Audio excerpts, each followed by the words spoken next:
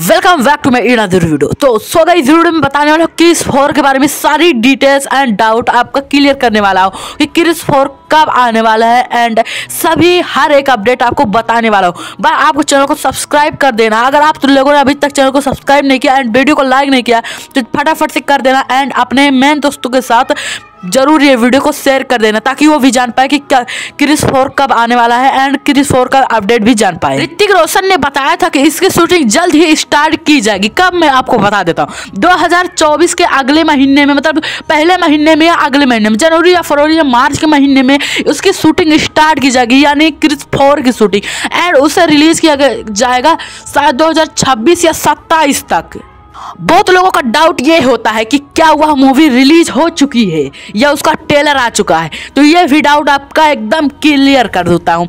अभी तक वो इस मूवी का जब शूटिंग स्टार्ट नहीं हुआ है तो कैसे उस मूवी का ट्रेलर आ जाएगा एंड वह मूवी आ जाएगी? अभी तक उसका ट्रेलर या मूवी नहीं आया है। अभी तक उसका शूटिंग ही स्टार्ट नहीं हुआ है। अभी तक उसका एडिटिंग नहीं स्टार्ट हुआ। अभी तक उसका शूटिंग ही नहीं स्टार्ट हुआ है।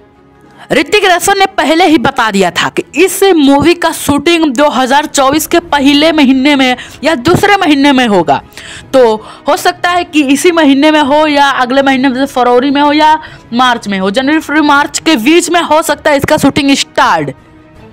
और हाँ सबसे इम्पोर्टेंट बात अब आपको बता दें तो अभी तक के उसकी ऋतिक रोशन की कोई भी मूवी नहीं आई है। तो क्या आपको लगता है क्या कर रहे हैं? नहीं बे, बैठे तो कोई रहता नहीं है। अभी तक उसकी तैयारी चली कि कैसे शूटिंग हुआ स्क्रिप्टिंग चल रही है वैसे ही उस वैसे ही मूवी को बनाया जाएगा। अभी तक वही सब चल रहा है।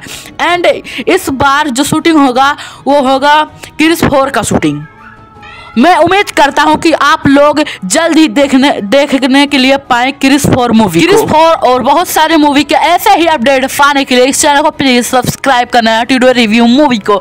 एंड वीडियो अगर आपको अच्छा थोड़ा सा लगा है तो प्लीज़ वीडियो को शेयर कर देना अपने सभी दोस्तों के साथ। एंड आप फुल वॉच कर लेना। एंड इस वीडियो को लाइक भी कर देना। ले जय हिंद।